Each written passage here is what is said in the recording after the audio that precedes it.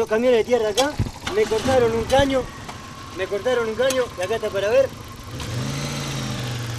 Me cortaron un caño que tuve que empalmar la manga en mi casa. Esto fue trabajo de la intendencia. Me doblaron el caño, me lo enterraron y me pasaron la planadora por arriba.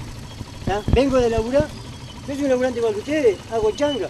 Drásticas medidas se adoptaron en barrio San Martín, en la intersección de José Entensa y Villamil. En esta esquina en particular, objeto de varias críticas frente a la poca mantención y el mal estado de sus calles, en esta jornada un vecino indignado ante la falta de respuestas de la Intendencia Departamental y también de la OCE generó un incendio en el medio de la calle buscando llamar la atención y sobre todo esperando respuestas. Es lamentable que uno tenga que hacer esto primer lugar. Digo, hace años que estamos pidiendo y reclamando que nos arreglen la calle.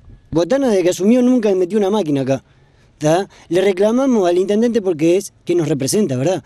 Digo, el viernes vinieron, me tiraron unos camiones de tierra, pasaron la máquina, me cortaron un caño de agua, acá está para ver. Me cortan el caño de agua, me lo, me lo atan, me lo entierran y me pasan la vibradora arriba, la planadora.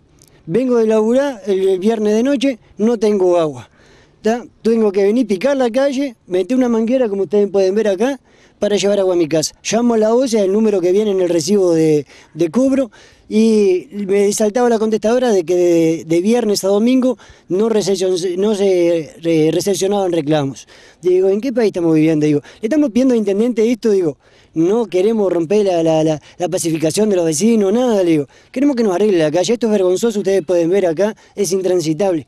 Nosotros pagamos impuestos, pagamos primaria, pagamos alumbrado público y como todo obrero, la mayoría estamos pagando un recibo atrasado y nos cobran multa por eh, demora de alumbrado público donde no lo tenemos, donde Botana vino, nos entregó para la UTE donde el pueblo paga.